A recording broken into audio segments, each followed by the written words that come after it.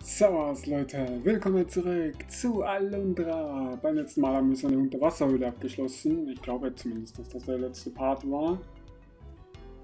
Und äh, das Kapitel ist, glaube ich, äh, im Streit mit Ronan oder so. Und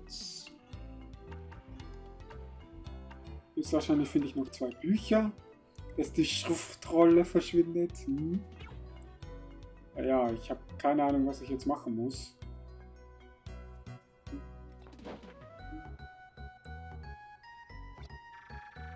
Gehört, Ron hat wieder schreckliche Dinge gesagt. Du hast wirklich merkwürdige Alundra. Ich glaube, im letzten Part habe ich mich schon hier umgeguckt, oder? Ich glaube, ich habe schon mit einem geredet. Achso, ja, habe ich schon. Ich sage noch immer das gleiche von wegen, ach, da ist eine Fee am Teich. Das habe ich letztes Mal schon gemacht. Äh. Das ist so gut. Kann ich mich einfach hinlegen und schlafen? Nee, kann ich nicht. Das heißt, ich muss irgendjemanden anreden. Die Frage ist nur wen? Ronan? Dem will ich eigentlich gar nicht reden. Vielleicht Septimus, das ist wesentlich realistischer. Dann gehe ich mal Septimus besuchen.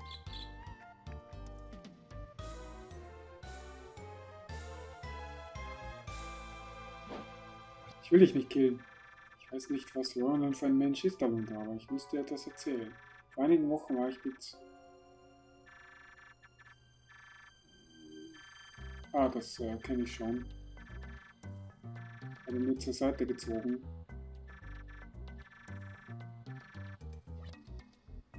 Hm. Das heißt, ich werde mit Ronan reden, oder wie? Gut, schauen wir uns mal um. Ab zur Kirche, zu Ronan. Ich glaube, hier links oben war doch noch eine Höhle. War ich da seitdem schon mal seit dem Anfang? Hier auf Owens Haus. Ich jetzt nicht mehr reinkomme, weil es vernichtet ist. Ja. Sein Haus ist kaputt, er selbst ist tot. Für Wendungen das Spiel nimmt. Aber gut, er ist nicht der Erste, der jetzt ins Gras gebissen hat. Es sind jetzt schon so einige draufgegangen. Irgendwie hat das Spiel eine bösartige, bösartige realistische Thematik. Oh, da war ich schon. Ich dachte, ich war hier noch nicht. Ach, egal. Was war denn da drin? Ich erinnere mich nicht mehr.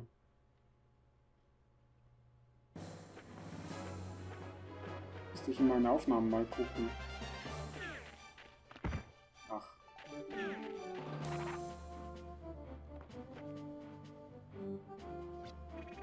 Schön, dass du endlich da bist. Lass uns reingehen. Äh, die Herren zuerst. So, ich sollte Rona einen Besuch abstatten.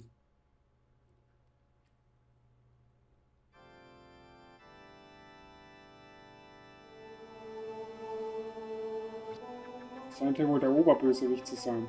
Nun, nun, Alundra, ich sehe, du kommst heute mit Maya. Die Statue von Melzas ist im Keller dieser heiligen Stätte versteckt. Ich kann es von hier aus fühlen. Oh, so die Götter haben sich euch gezeigt. Ja, Ronan, es war wundervoll. Sie wollen, dass ich zu ihrem Angesicht bete. Sie verarscht ihn. Denkst du, ich bin so dumm, das zu glauben? Und überhaupt etwas gesehen hast, dann den Teufel. Ihr wollt, dass ich euch zur Statue bringe, um sie zu zerstören. Wenn ihr mich unterschätzt, meine Kinder, werdet ihr eine große Enttäuschung erleben. Okay, Ronan, geh mir aus dem Weg. Äh, jetzt geh mir aus dem Weg. Versuch nicht, das Unvermeidliche aufzuhalten. Pff, arrogantes Mädchen. Bermo wusste immer von der Statue. Jeder weiß es. Sie sind nicht nur damit einverstanden, sie beten auch davor. Wie, würde, wie würden Sie auf die Zerstörung reagieren? Wahrscheinlich nicht so positiv, wie ihr denkt, meine Kleinen. Wie auch immer, es ist noch nicht vorbei, Ronan. Ich werde beweisen, dass die Statue der Ursprung alles Böse ist und sie wird zerstört werden. Diese Ketzerei wird euch teuer zu stehen kommen. aber der, der ist offensichtlich immer böser. Also wahrscheinlich ist das ganze Dorf böse. Nur Mayer ist gut. Ronan ist der Mörder. Ich bin sicher, Alundra. Und ich habe was Hals. Und noch was. Ich glaube, der nächste wird jemand aus deiner Nähe sein. Wir müssen deine Freunde beschützen. Ich bleibe bei Septimus. Du passt auf Jess auf. Schnell, die Dunkelheit kommt näher. Ich komme morgen früh zu dir. Mit denen ich einer von den beiden. Die beiden sind so cool. Jess ist wie ein Vater für mich und Septimus wie ein bester Freund. Ich will nicht, dass einer von beiden drauf geht.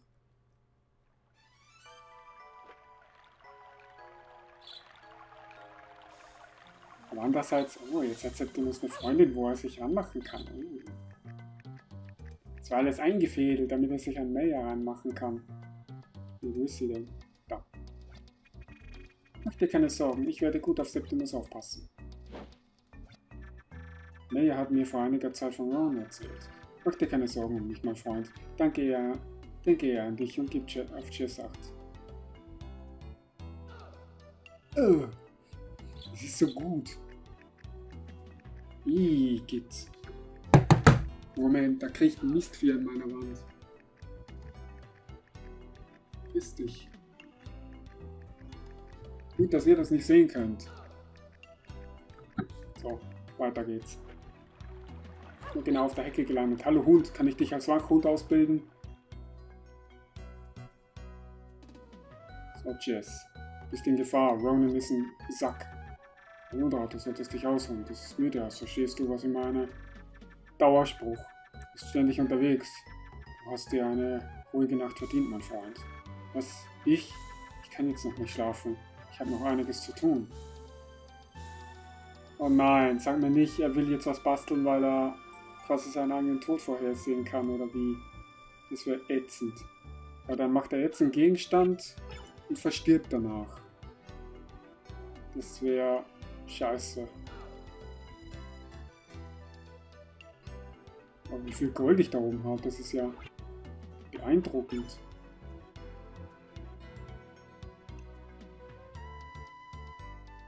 Noch beeindruckender wäre es, wenn mein PC endlich wieder anständig laufen würde.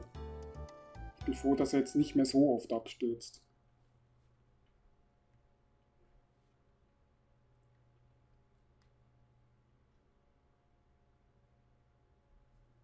Diese Szene gefällt mir nicht.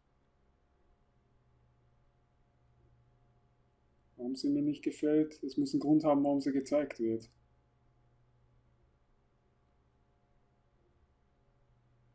Wäre es ein ganz normaler Tag gewesen, dann wäre er jetzt nicht gekommen.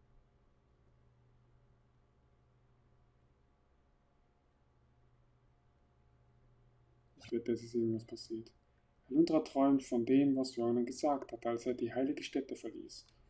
Aber er ist zu erschöpft. Alundra sinkt langsam in einen tiefen Schlaf und dann viel zu früh überlassen Mond und, die Mond und Sterne der Morgensonne den Himmel, als ein Hahn in der Ferne kräht. Ich habe ein ganz mieses Gefühl. Oh, ich habe ich hab Angst. Und jetzt noch mehr. Wach auf, Alundra, wach auf! Du, Nein, es ist Jess, er. Wer, Ronan? Jess. Spuck's aus! Atmet die verdorbene Luft dieser teuflischen Welt nicht mehr. Das war jetzt die hässlichste Formulierung, die du hättest wählen können. Die Dorfbewohner sind zum Friedhof gegangen. Komm mit mir, Alundra.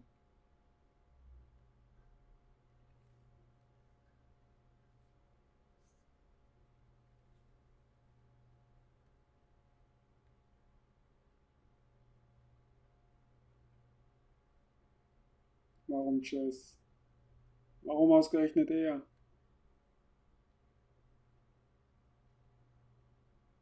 Ohne mich.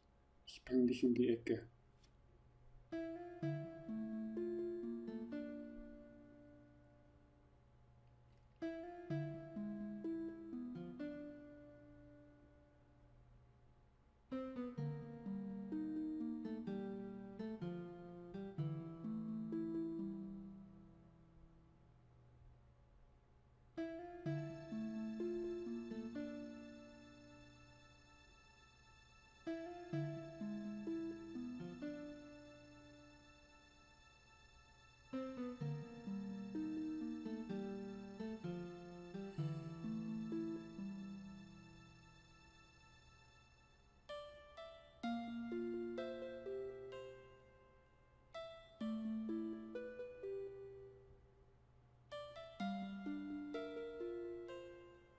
能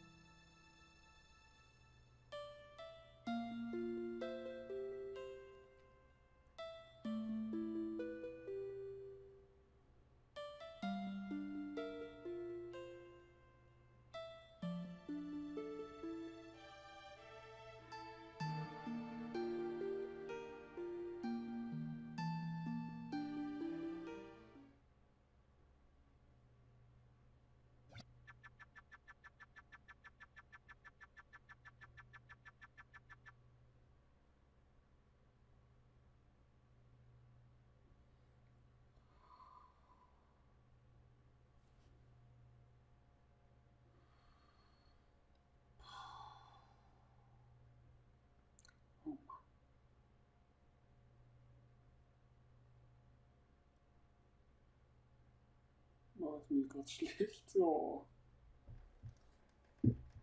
Oh, Scheiße.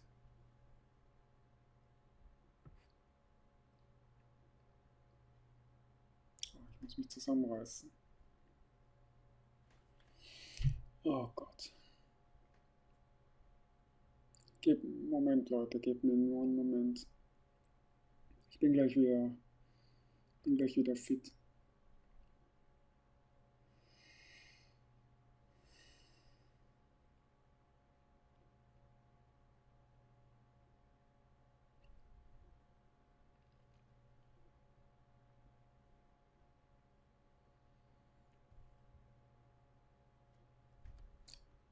Okay. Jetzt geht's wieder einigermaßen. Jess hatte ich. Moment, Moment.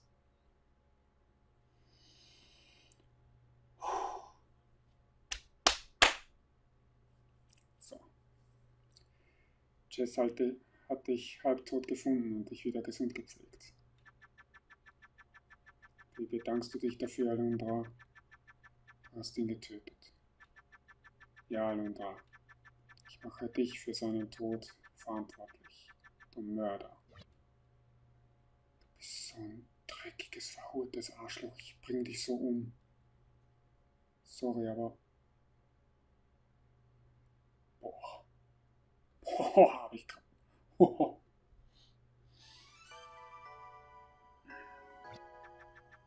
Oh, diese Szene ging so nah.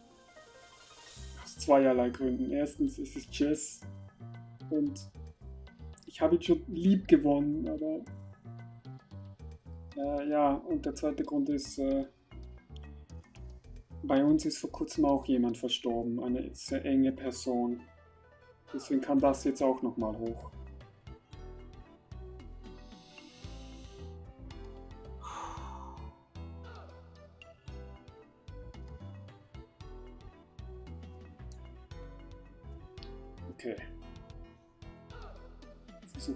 Zu.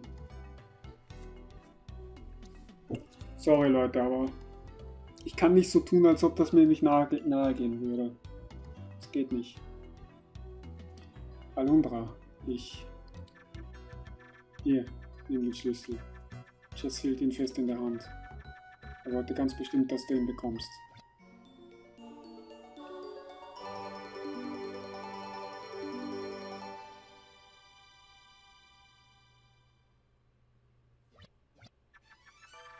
Du etwas brauchst, Alundra, irgendetwas, dann werde ich dir helfen.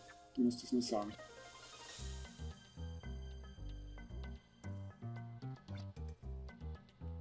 Na klar. Was ist drin? Das Tagebuch von Jess erhalten. Hat sein Tagebuch verschlossen? Vielleicht hat er es geschrieben an dem Tag, an dem er es gefunden hat. Alundra. Wenn das liest, bin ich tot.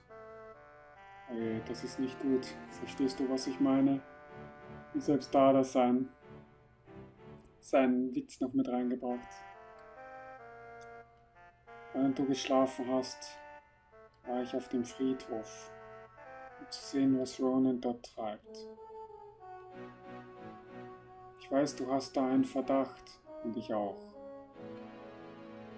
Aber ich wollte ihn nicht allein stellen. Ich habe große Angst, Alundra. Deine Hand zittert beim Schreiben. Am liebsten würde ich dieses Blatt einfach wegwerfen. Die Sache mit Ronan einfach vergessen. Aber das kann ich nicht, mein Junge. Ich, ich betrachte dich als meinen Sohn und möchte nicht, dass du dich wegen mir schämen musst. Deshalb habe ich meinen ganzen Mut zusammengenommen schreibe diesen Brief. Ich dachte, es wäre ein Tagebuch. Bevor ich zu Ronan gehe, Alundra, nach dem Tod meiner Frau und meines Sohnes, war ich ein gebrochener Mann. Dein eiserner Wille und dein Verhalten haben mich geheilt. Wir konnten nicht lange zusammenbleiben, aber ich bin trotzdem dankbar für die kurze Zeit.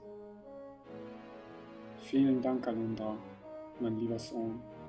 Liebe, Jess. Der Schachtel befindet sich eine beschädigte Rüstung.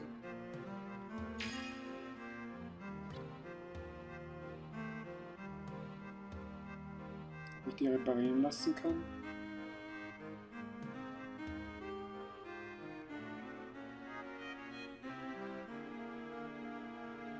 Ich glaube, das war ein Tag, an dem er mich gefunden hat.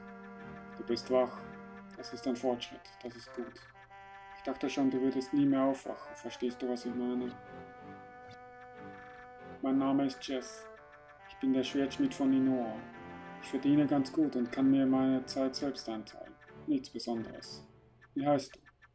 Alundra, hm? Freut mich, deine Bekanntschaft zu machen, Alundra. Du warst doch an Bord der Clark, oder Alundra? Du kannst von Glück reden, dass du noch am Leben bist. Verstehst du, was ich meine? Die Stücke, die sie vom Schiff gefunden haben, waren nicht größer als meine Faust.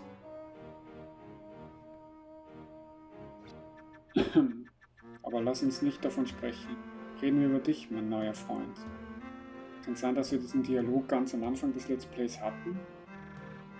Du kannst bleiben, bis du wieder ganz gesund bist. Ich lebe allein. Wenn du gehst, werde ich wieder ein einsamer alter, fetter Mann sein. Aber deswegen sollst du dir keine Gedanken machen. Oje, das hatte ich fast vergessen. Das Buch neben dem Bett.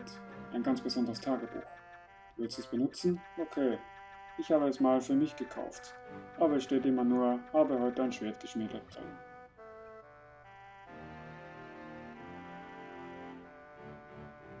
Und so fing unser Abenteuer an.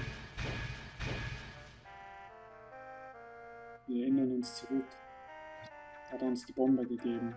Alundra, bis vor kurzem haben die Menschen in diesem Land zu Statuen gebetet. Sie waren materielle Darstellungen unserer Götter, verstehst du? Plötzlich verbot der König diese An Anbetung. Die Menschen mussten gehorchen, je weiter als die Statuen zerstört wurden. Statuen. Genau zu dieser Zeit versank im nördlichen See der Palast. Das war vor fünf Jahren, aber es kommt mir vor wie gestern, verstehst du? Seit damals sind wir nicht mehr kreativ. Sorry fürs Gehen. Vielleicht wurden die Götter zornig und haben uns diese Fähigkeit weggenommen. Ich sagte nicht, ich sage nicht, dass es so ist, aber ich muss ständig daran denken, mein Junge.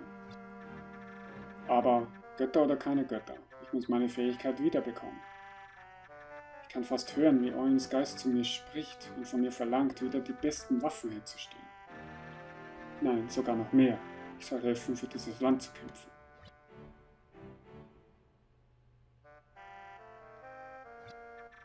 Das ist die Minenbombe. Eigentlich ist es nur eine Bombe. Aber da sie für die Mine benutzt wird, heißt es so. Damit kommt man durch jeden Stein. Verstehst du, Alondra? Naja, nicht durch jeden. Damit könntest du leicht in die Mine kommen, aber das ist viel zu gefährlich, mein Junge. Hier ist mein Plan. Ich gehe zur Mine. Ich sehe nach, ob es sicher ist und vielleicht lasse ich dich reingehen. Du bleibst hier, okay? Ich will, dass du diese Geschichte hier erlebst.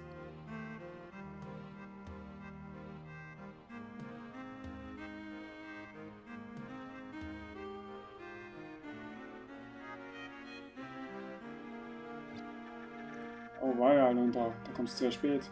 Ich habe mir Sorgen gemacht, aber egal. Ich bin froh, dass dir nichts passiert ist. Noch mit klein.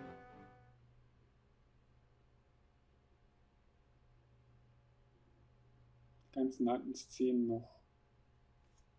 Wahrscheinlich hat Alundra jetzt davon geträumt. Der schreckliche Tag, nee, der schrecklichste Tag in Alundras Leben war vorüber. Als er die Augen schloss, konnte er immer noch Jess lächeln sehen. Als das Bild verschwand, weinte er bitterlich, aber seine Tränen konnten seinen Schmerz nicht vermindern. Da bat er die Götter, diesen Wahnsinn zu beenden, und fiel doch noch in einen unruhigen Schlaf.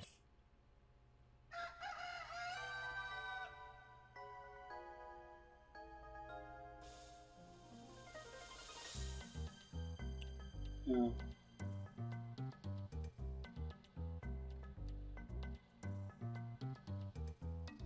Jess ist nicht mehr da.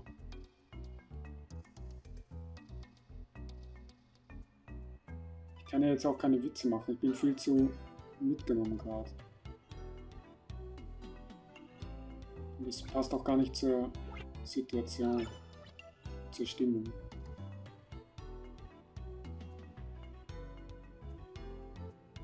Äh, dann werde ich jetzt speichern und den Part beenden. Dann werde ich im nächsten Part zu Septimus gehen und fragen, ob er irgendwelche Informationen oder so hat. Würde ich sagen, das war Alundra. Ich hoffe, es hat euch gefallen und wir sehen uns das nächste Mal wieder. Für euch.